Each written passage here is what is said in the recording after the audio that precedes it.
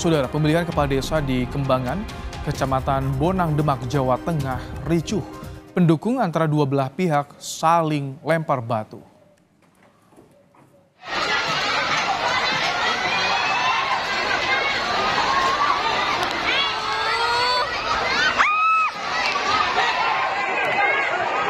Pelaksanaan pemilihan kepala desa di Desa Kembangan, Kecamatan Bonang Demak sempat terjadi kericuhan.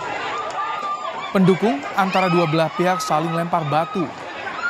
Kericuhan disebabkan karena para pendukung mengenakan kaos atribut, padahal sebelumnya sudah ada kesepakatan untuk tidak mengenakan atribut pendukung calon.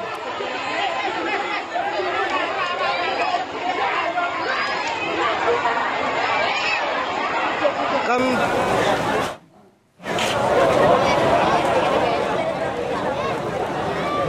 Cegah anarkistis separat berjaga di lokasi sekitar Pilkades Desa Kembangan, Kecamatan Bonang, Demak. Sementara, satu korban mengalami luka di bagian kepala akibat terkena lemparan batu. Penyebab Pilkades ricuh karena semua pendukung paslon Kades melanggar aturan penggunaan atribut kaos yang sebelumnya disepakati tidak dipakai.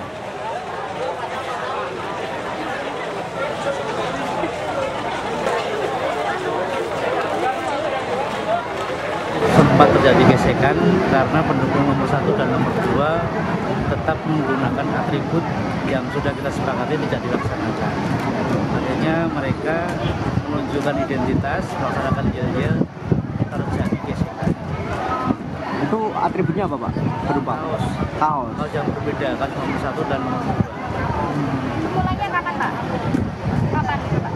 Tadi terjadi setelah kumpul kurang lebih sekitar jam 9 kurang 10 menit jam 9 langsung turun. pak terus ada yang diamankan nggak pak? Uh, yang diamankan kita belum. Belum ya?